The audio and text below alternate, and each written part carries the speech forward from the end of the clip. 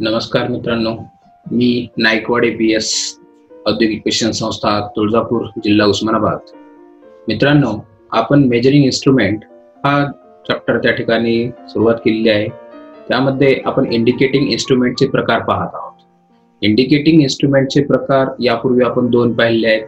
त्यातला पहिला आहे P M M C permanent magnet moving coil आणि दुसरा प्रकार आपण M I instrument moving iron instrument हे दोन इन्स्ट्रुमेंटचे प्रकार आपण यापूर्वी पाहिले आहोत.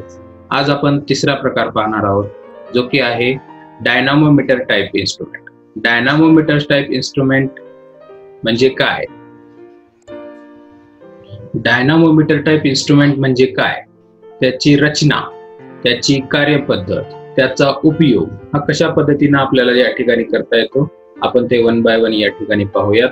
Dynamometer type wattmeter dynamo. Dynamo म्हणजे डाय म्हणजे दोन. दोन मुख्य भाग असलेल्या मीटरला आपण या ठिकाणी डायनामोमीटर टाईप असेल दोन मुख्य भाग म्हणजे कोणते? तर एक असेल त्यामध्ये सीसी आणि दुसरी असेल पीसी सीसी म्हणजे करंट कॉईल आणि पीसी म्हणजे प्रेशर कॉईल याबद्दल आपण डिटेल चर्चा पुढे करणार आहोत. तत्पूर्वी डायनामोमीटर हे जे मीटर आहे हे तुमच्या P M M C type instrument सारखंच आहे. फक्त P M M C type इन्स्ट्रुमेंटमध्ये आपण कायम चुंबकाचा वापर केला आहे तर या ठिकाणी डायनामोमीटर टाईप इन्स्ट्रुमेंटमध्ये आपण विद्युत चुंबकाचा वापर करणार आहोत. आणि त्याच्या साह्याने या ठिकाणी आपण टॉर्क निर्माण करून आपण रेडी घेणार आहोत. डायनामोमीटर टाईप इन्स्ट्रुमेंट हे जे आहे हे AC as well as DC अशा दोन्ही सप्लायवरती त्या ठिकाणी आपण चालवू शकतो. या डायनामोमीटर टाईप इन्स्ट्रुमेंट ते कोणत्या तत्वावर कार्य करतं? त्यामध्ये त्याची रचना त्याची कार्यपद्धत आणि त्याचा उपयोग आपण यापुढे पाहूया. याच्या तत्व कोणत्या तत्वावर कार्य करतो आपण ते पाहूया. डायनामोमीटर टाईप इन्स्ट्रुमेंट हे स्थिर कॉइलचे चुंबकीय क्षेत्र व फिरत्या ठेवलेल्या कॉइलचे चुंबकीय क्षेत्र यामध्ये यांत्रिक प्रेरणा मिळून फिरती ठेवलेली कॉइल त्या ठिकाणी फिरू लागते. म्हणजेच काय? तर स्थिर कॉइल च्या साह्याने जे चुंबकीय क्षेत्र तयार होतं व फिरत्या ठेवलेल्या कॉइलमुळे जे चुंबकीय क्षेत्र तयार होतं यामध्ये एक फोर्स निर्माण होतो आणि तो फोर्सच्या साह्याने या ठिकाणी जी फिरती ठेवलेली कॉइल आहे ती त्या ठिकाणी फिरू लागत असते. या तत्वावरती हे तुमचं मीटर त्या ठिकाणी कार्य करत असतं. मग हे कशा पद्धतीने त्याची इंटरनल रचना असेल तर आपण ते पाहूयात या ठिकाणी. तुमच्या स्क्रीनवरती तुम्हाला एक डायग्राम दिसत आहे त्यामध्ये या डायनामोमीटर टाईप इन्स्ट्रुमेंट वॅटमीटर कशा पद्धतीने आतील रचना असते याचं या ठिकाणी डायग्राममध्ये दर्शवलेलं आहे. तुम्ही जर डायग्रामकडे व्यवस्थित जर पाहिलं तर तुम्हाला या ठिकाणी दोन मुख्य भाग दिसतात. एक सीसी आणि दुसरा पीसी सीसी म्हणजे करंट कॉईल जे की आपण आता थोडा वेळ आपण तुम्हाला सांगितलेलं आहे. आणि दुसरा म्हणजे पीसी म्हणजे प्रेशर कॉईल सीसी लाच आपण त्या ठिकाणी फिक्स्ड कॉईल असं सुद्धा संबोधत असतो. आणि प्रेशर कॉईलला त्या ठिकाणी आपण मुव्हिंग कॉईल असं संबोधत असतो. तुम्ही जर डायग्राममध्ये जर लेफ्ट साईडला जर पाहिलं तर त्या ठिकाणी आपण इनपुट सप्लाय सोर्स दिलेला आहे. एसी इनपुट सप्लाय सोर्स त्या ठिकाणी जोडलेला आहे जो की इंडिकेट केलेला आहे व्ही ने. या ठिकाणी डाव्या साईडला जर तुम्ही लक्ष जर पाहिलं तर या ठिकाणी इनपुट सप्लाय सोर्स दिलेला आहे एसी सप्लाय आणि इंडिकेट केलेला आहे व्ही ने.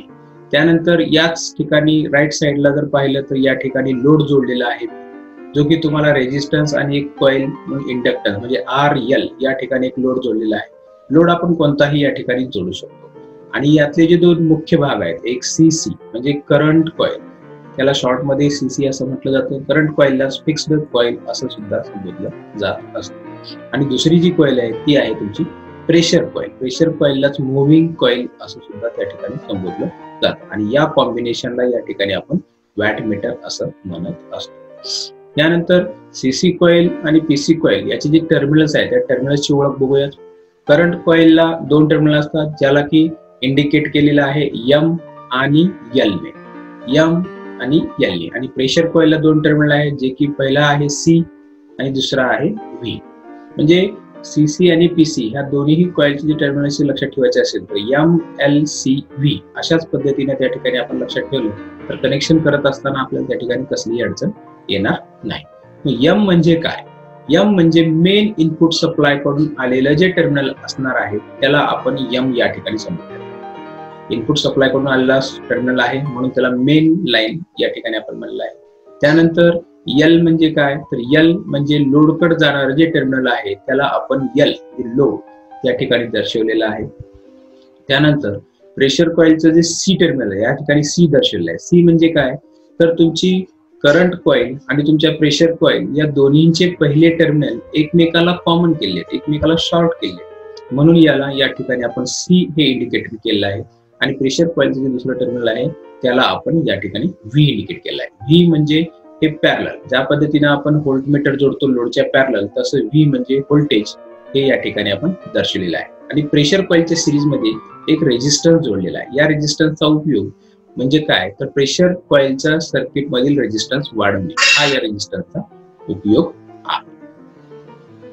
यानंतर या कॉइल मधील आपण डिटेल कनेक्ट फ्रंट व्ह्यू कशा पद्धतीने असेल? जर हे मीटर जर आपण समोर घेतलं तर त्यामध्ये कशा पद्धतीनं त्याची रचना असते हे तुम्हाला या समोरच्या डायग्राममध्ये दिसत आहे. या डायग्राममध्ये जर तुम्ही ऑब्झर्व केलं तर या ठिकाणी हा जो ब्ल्यू शेप दिसत आहे हा ब्ल्यू कलरचा आयाताकृती जो भाग आहे तो म्हणजे आपली कोअर आहे. ती म्हणजे आपली काय आहे? कोअर आहे. आणि या कोरवरती करंट कॉइल ही गुंडाळलेली आहे जे की येल्लो कलर कॉइल आपल्याला दिसत आहे. आणि तीच करंट कॉइल परत या पुढच्या ब्ल्यू शेपमध्ये म्हणजे म्हणजेच काय? तर करंट कॉइल ही दोन भागांमध्ये डिवाइड केली. एकच करंट कॉइल आहे जे की दोन कोरवरती त्या ठिकाणी गुंडाळून त्याच्या सिरीजमध्ये एक लोड या ठिकाणी जोडलेला आहे. त्यांच्या सिरीजमध्ये एक लोड या ठिकाणी जोडलेला आहे. त्यानंतर आतल्या बाजूला ही जर पिवळी जर पाहत असाल तर ही तुमची प्रेशर कॉइल आहे. प्रेशर कॉइलला दुसरं नाव पोटॅन्शियल कॉइल आहे. बरोबर? आहे आणि ही जी प्रेशर कॉइल आहे ही प्रेशर कॉइल एका स्पिंडल वरती बसवलेली असते. आणि हा जो स्पिंडल असतो तो spindle with the help of pivot आणि ज्वेल बेरिंग याच्या सहाय्याने त्या ठिकाणी फिक्स केलेला असतो. आणि त्या फिक्स केलेल्या स्पिंडल वरती तुमची ही प्रेशर कॉइल आणि हा तुमचा पॉइंटर त्या ठिकाणी बसविलेला असतो. प्रेशर कॉइलच्या सिरीजमध्ये परत या ठिकाणी दर्शवलेला आहे रेजिस्टन्स हा रेजिस्टन्स या ठिकाणी आपण जोडलाय जेणेकरून प्रेशर कॉइलचा रेजिस्टन्स वाढवणं गरजेचं आहे. या ठिकाणी सप्लाय इनपुट सोर्स दर्शवलेला आहे सोर्स आणि पॉइंटर जर तुम्ही पाहिला तर हा पॉइंटर या ठिकाणी स्केल दर्शवली आता ह्या स्केलवरती मीटर रिडिंग कशा पद्धतीने दर्शवतो आपण ते पाहूया. तत्पूर्वी पॉइंटर हा जर त्या ठिकाणी फिरवायचा असेल तर पॉइंटरला फिरवण्यासाठी त्या ठिकाणी डिफ्लेक्टिंग टॉर्क लागतो आणि पॉइंटर त्या ठिकाणी फिरायला लागतो. पण तो पॉइंटर फिरत असताना त्याला कंट्रोल करणं गरजेचं आहे. म्हणून त्या ठिकाणी आपण त्याला स्प्रिंग कंट्रोल मेथडच्या सहाय्यानं कंट्रोल करत असतो. आणि पॉइंटर हा स्थिरावणं गरजेचं आहे थांबणं गरजेचं आहे. त्यासाठी आपण त्याला एअर डॅम्पिंग मेथडच्या सहाय्यानं या ठिकाणी आपण पॉइंटर थांबवत असतो. मग हे कशा पद्धतीनं कार्य करतं? तर अतिशय सिंपल कशा पद्धतीने या ठिकाणी हे मीटर कार्य करतं? ते पाहूयात आपण आता. याची कार्यपद्धत पाहूयात आपण आता. मी ज्या वेळेस याला इनपुट सप्लाय सोर्स या ठिकाणी देईन त्यावेळेस माझ्या करंट कॉइल मधून प्रवाह वाहील. करंट कॉइल मधून प्रवाह वाहिल्यानंतर या करंट कॉइलच्या भोवती माझे चुंबकीय क्षेत्र तयार होईल. त्याच वेळीस माझ्या प्रेशर कॉइलला देखील मी इनपुट सप्लाय दिलेला आहे.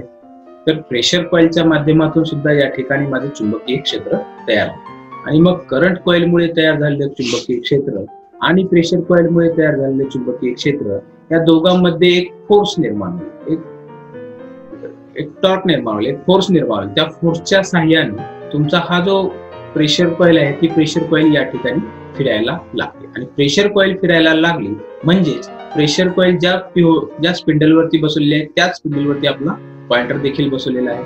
तर प्रेशर कॉईल फिरायला लागली की ऑटोमॅटिकली तुमचा पॉइंटर सुद्धा हा त्या ठिकाणी डिफ्लेक्ट व्हायला लागतो. पॉइंटर डिफ्लेक्ट होण्यासाठी आपण डिफ्लेक्टिंग टॉर्क या ठिकाणी त्याला मिळतो आणि डिफ्लेक्टिंग टॉर्क मिळाल्यामुळे पॉइंटर फिरू लागतो. मग त्या पॉइंटरला स्थिर करण्यासाठी कंट्रोल करण्यासाठी त्या ठिकाणी आपण स्प्रिंग कंट्रोल मेथड वापरलेली आहे. आणि पॉइंटर हा स्थिरा योग्य त्या किमतीला जाऊन थांबलो यासाठी आपण एअर डॅम्पिंग मेथडचा त्या ठिकाणी उपयोग केलेला आहे. अशा पद्धतीने त्या ठिकाणी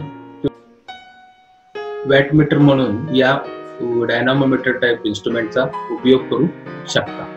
हे मीटर आपण व्होल्टमीटर आणि ॲमीटर म्हणून देखील वापरू शकतो. परंतु व्होल्टमीटर व ॲमीटर म्हणून ज्यावेळेस आपण या मीटरचा उपयोग करू त्यावेळेस त्या मीटरची स्केल ही करंटच्या ॲमीटर म्हणून जर आपण यूज करत असू तर करंटच्या वर्गाच्या प्रमाणामध्ये आणि जर व्होल्टमीटर म्हणून जर आपण यूज करत असू तर त्यावेळेस व्होल्टेजच्या वर्गाच्या प्रमाणामध्ये त्याची मीटरची स्केल ही आपल्याला डिवाइड करणार आणि हे केल्यानंतर ज्यावेळेस हे मीटर आपण सर्किटमध्ये जोडू त्यावेळेस त्याची रीडिंग घ्यायला आपणास अतिशय अवघड जात असते. हे मीटर एसी सप्लाय वरती वॅट मीटर म्हणून जोडल्यास यामधील करंट कॉईल ही रेजिस्टिव्ह लोड म्हणून कार्य करत असते तर प्रेशर कॉईल ही इंडक्टिव्ह लोड म्हणून त्या ठिकाणी कार्य करत असते. आणि याच्याच साह्याने त्या ठिकाणी तुमचा पॉइंटर फिरत असतो. म्हणजे पॉइंटरला फोर्स जो आवश्यक आहे तो त्या ठिकाणी करंट कॉईल पासून तयार होणारे फ्लक्स आणि प्रेशर कॉइलपासून तयार होणारे फ्लक्स या दोघांवरती डिपेंड आहे. त्यामध्ये किती प्रमाणामध्ये तुमची टॉर्क निर्माण होणार आहे आणि पॉइंट तुम्हाला किंमत दर्शविणार आहे. धन्यवाद मित्रांनो. तुम्हाला हा डायनामीटर टाईप पॅटमीटर समजला आहे असं मी समजतो. आणि या ठिकाणी